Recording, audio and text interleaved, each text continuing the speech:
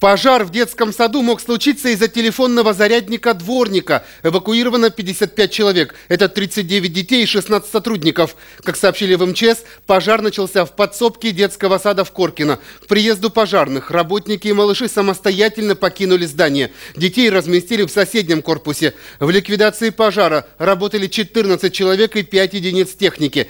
По предварительным данным, причиной возгорания могло стать короткое замыкание. Оказалось, что в подсобке дворника мобильника. В розетку были включены зарядное устройство мобильника и радиоприемник.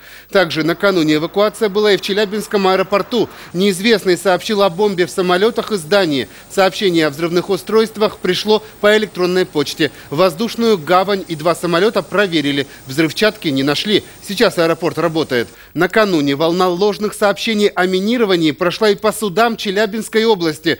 Угрозы о взрывчатке получили в Металлургическом, Советском, Ленинском, Кировском и Курчатовском районах. Аналогичные письма поступили в два учреждения в Магнитогорске и один в Сосновском районе. Всех работников и посетителей в срочном порядке эвакуировали, а подсудимых отправили в СИЗО. А сейчас по всему городу, да, такие были сообщения? Комментарии никакие не могу давать по данному вопросу.